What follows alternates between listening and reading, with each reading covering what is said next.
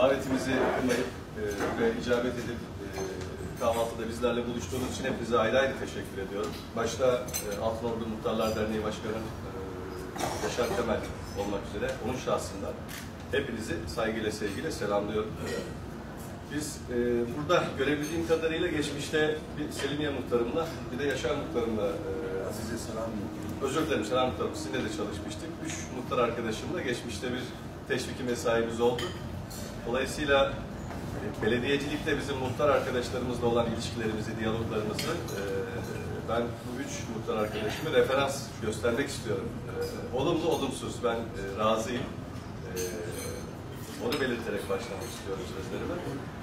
E, akabinde de şunu belirtmeliyim.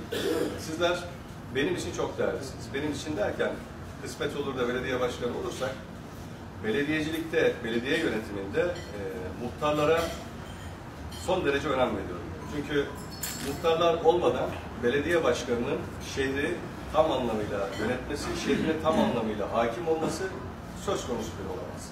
Çünkü şehrin bugün 92 mahallemiz var. E, 92 mahallede e, ciddi bir nüfusa hitap ediyoruz. Çok yaygın bir e, hizmet ağı var Altınordu Belediyesi'nin. Bu noktada eğer bu muhtarlarla iletişim sağlıklı olmazsa, bu muhtarlar yönetime katılmazsa mutlaka mutlaka e, belediyeciliğin bir ayağı topatlanacaktır. Bu bağlamda en ücra köşedeki vatandaşımızın sorununu da belediyeye, bizlere taşıyacak olan sizlersiniz. Onun için e, bizim için çok değerlisiniz. Yönetimde de beraber olacağız Allah kısmet ederse sizlerle. Dün akşam televizyon programında da söyledim. Ee, benim her meclis toplantımın daimi üyeleri olacaksınız arkadaşlar. Ben sizleri davet edeceğim. Tabii zorunlu olmamakla birlikte arzu ederim ki bütün muhtar arkadaşlarım benim meclis toplantılarımda bulunsun. Ee, özellikle mahallesiyle ilgili konular tartışılırken, konular görüşülürken mutlaka ve çıksın, e, söz hakkını kullansın. Ee, yapılacak yatırımlarla ilgili söz hakkını kullansın. Çünkü mahallesinin temsilcisidir.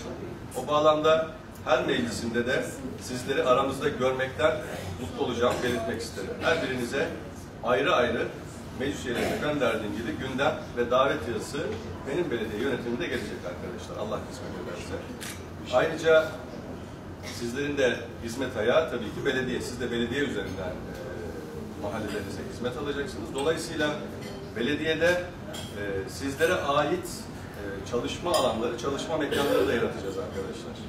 Yani e, muhtar arkadaşlarım belediyeye geldiği zaman e, gidip daire müdürlerimin makam odalarında, e, kenarlarda e, veya belediye başkanlarının, başkan yardımcılarının makam odalarında hizmet arayışı peşinde olmayacaklar. Orada kendilerine ait mekanları, hatta makamlar olacak. Tabii hepimiz ayrı ayrı makam değil ama e, hepimizin toplu kullanacağı mekanlar tasarlayacağız kısmet olursa. Ve bu şehri beraber yöneteceğiz inşallah. Allah nasip ederse. Ben bu duygu ve düşüncelerle tekrar e, bizleri onurlandırdınız. E, misafirimiz oldunuz. Çok teşekkür ediyorum. E, afiyet olsun diyorum.